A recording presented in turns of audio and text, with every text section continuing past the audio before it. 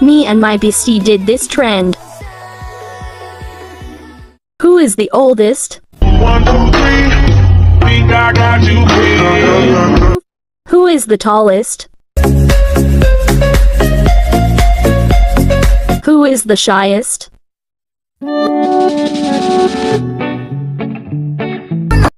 Who has the most siblings? So